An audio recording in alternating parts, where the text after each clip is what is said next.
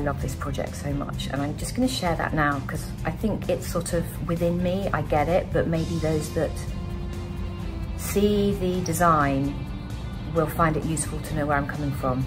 The atmosphere, the culture, the service, the sense of fun, the sense of inner city urban joy was so strong, so profound that that has been my guiding light throughout designing. Warmth, colour, welcoming, and in really simple terms, hospitality.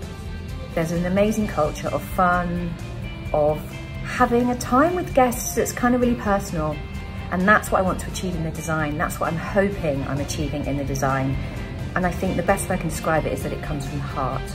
It's the emotional connection in, in this job and in any job that makes it special, that makes it work, and that makes it feel like you're all achieving the same thing, which is to give the guests that come here amazing hospitality.